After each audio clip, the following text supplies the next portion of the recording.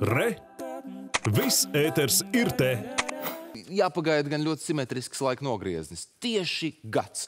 Bet eh, tā kā ir tieši gads, tas nozīmē, ka ir īstais brīdis sākt mm, to Atskaites, eh, sildīt, ne, sildīt, sildīt, reģistrēt, eh, ievadīt, informēt beig beigās. Un visas šīs sadaļas noteikti pārzina arī mūsu kolēģi Ilze, kur ir devusies laukā pretim skriešanas čempionātam. Ilze, lūdzu, labrīt! Jā, tu esi ēterā. Labrīt! Labrīt, jā. Labrīt, mēs jau ļoti aktīvi ar Aigaru Nordu runājam par skriešanu, par skriešanas svētkiem, kas jau bijuši šogad, bet vēl kāds ļoti būtisks skriešanas pasaules čempionāts skriešanā gaidāms nākamgad, 30. septembrī un 1. oktobrī. Nu, burtiski gads līdz tam ir palicis. Labrīt, Aigar! Labrīt. Vispirms jau tad jājautā, 13 lielpilsētu konkurencē Rīga ir izcīnījusi šo te iespēju organizēt un rīkot pasaules čempionātu skriešanā skriešanā. Ko tas nozīmē mums, Latvijai, Rīgai? Un, un tu ļoti pareizi pateici, tie tiešām ir unikāli skriešanas svētki, jo pirmo reizi, manuprāt, pasaules vēsturē veselās trīs distancēs, tad, tad jūdze 5 km un pusmaratons. Jebkurš no mums, tad, tad tu esi, jebkurš stipinātājs, svētdienas skrejējs, jebkurš veselīgi dzīvesveidu baudītājs var pieteikties, reģistrēties un kopā ar čempioniem visiem skriet un tikt pie savas pasaules čempionāta medaļas. Nu, tas ir unikāls gadījums pasaules, pasaulē, protams, unikāls gadījums Baltijā, jo tie būs lielākie vispār tāds masveida sporta notikums, kāds mums Baltijas vēsturē bijis. Ka jebkurš no mums var tikt pie šādas medaļas. Ja, tāpēc arī um, konkurence. Satunais konkurence pasaulē uz šo svētku rīkošanu bija tik liela. Un, kā, nu, mums ir izrādīts šis gods. Es domāju, ka mēs varam līdz ar to rēķināties, ka pie mums atbrauks ne tikai visi pasaules labākie, ātrākie skrejēji, bet mēs noteikti šeit gaidām vismaz vairākus desmit tūkstošus arī maratona skrejējus. Kā jau es teicu, jebkurus amatierus no visas pasaules. Jā.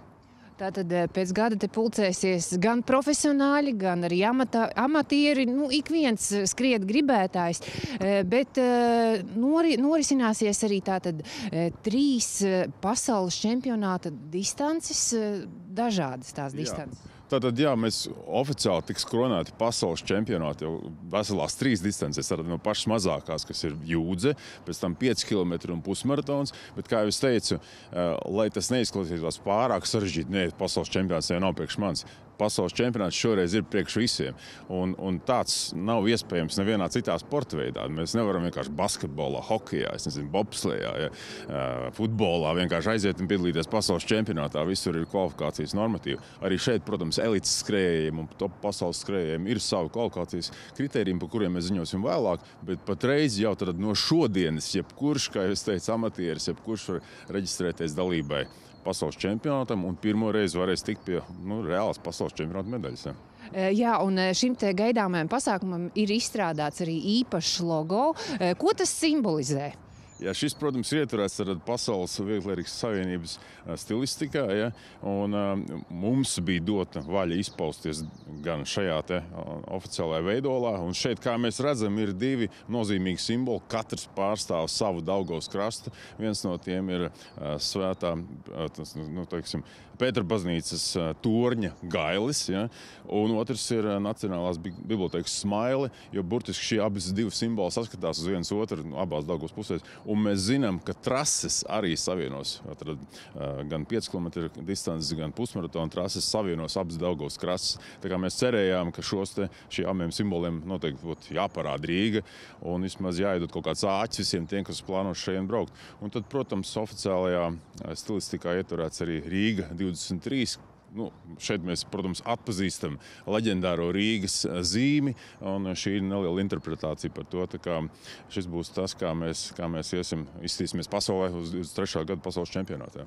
Eh, jums ir vairāku gadu pieredze organizējot Rīgas maratonu. Eh, līdz šim pasaules čempionātam skriešanā tikai gads. Tas ir daudz vai maz, un varbūt no kādiem izaicinājumiem būs jāsaskarās un kam jāgatavojas. Jā, gads līdz pasaules čempionātam tik tiešām ir mazs. Mums burtiski tikko bija vizīte no Pasaules Veselības Savienības, kurā jau skatījāmies, cik Rīga ir gatava tam.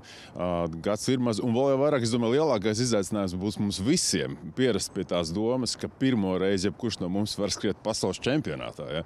Tas, manuprāt, būs ne tikai Latvijā un Baltijā, bet, protams, arī visā pasaulē. Ja? Tas būs tas lielākais. Bet visādi citādi mēs gatavojamies, ka maijā, kad būs Rīgas maratons, tas būs jau ģenerāla mēģinājums. Mēs jau tur varēsim nojaust kaut kādu, no, apmēram, nu, kas ir tas, ko mēs varēsim sagaidīt uh, rudenī, tad 30. septembrī, 1. oktobrī pasaules čempionātā. Jā.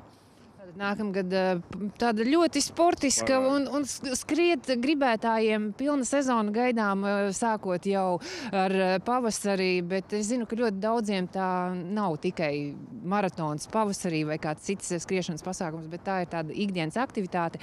Novēlu jums izturību un spēku, un noteikti tiksimies vēl pirms gan Rīgas maratona, un arī pirms, protams, šī te pasaules čempionāta skriešanā. Paldies par šī rīta sarunu! Paldies! Ar citām aktualitātēm turpiniet.